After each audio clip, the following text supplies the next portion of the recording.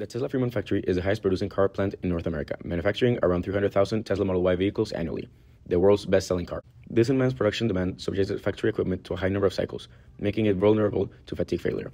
In this video, we will discuss the fatigue subjected on the carrier skids that carry the body in white. The body in white is the metal skeleton of the car. It weighs around 500 kilograms and it is built on top of carrier skids. Each of the 100 skids endures roughly 3,000 cycles per year, and at times, yielded skids have caused problems, raising a critical question. Do they fail due to fatigue or unexpected outlier loads? So let's dive into the math and understand if these skids can sustain such loads and how long will it take before these skids need to be replaced. Onto the calculations, here we have the analysis of one of the two skids that are used in the process where we have support forces and two transfer Conveyor points which will treat them as reaction forces. The skid has a square structure 2 by 2 inches where it is hollow with wall thickness of 3 eighths of an inch.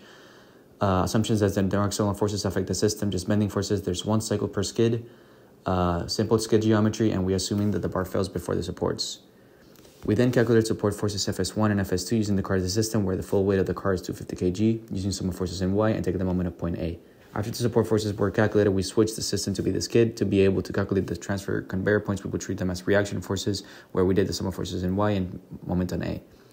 We drew our force diagrams to see if the forces are distributed along the skid, then did the same for our moment diagram, which let us know how or where our max moment is, which is at point C from the above FBD.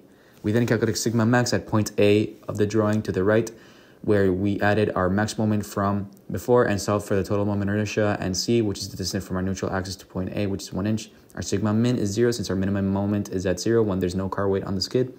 And then we calculate our sigma mean and alternating, which is sigma max divided by two. Now we calculate endurance limit for IC for, uh, 4140 steels at 425 degree.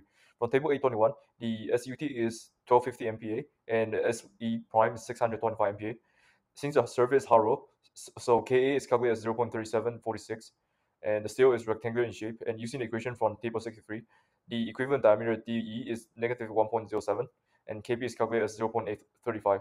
Since the load is bending, uh, Kc is 1 and the Kd is 1 assuming room temperature and KE is 0.702 for reliability of 99.99%.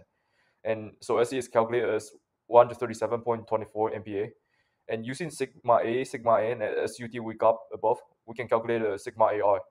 From after this, we can calculate a constant A, B, and F, which allow us to find a number of cycle to failure as 56,000, and the factor of safety is 0.49.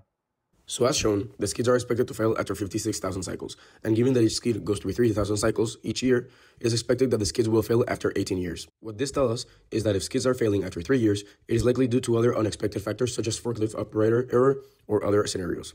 Knowing this, engineers would have to root cause these issues and finally put an end to skid failures. This is exactly what happened at the Tesla Fremont factory, demonstrating that topics such as fatigue failure are present and have to be taken into consideration in many real-world scenarios.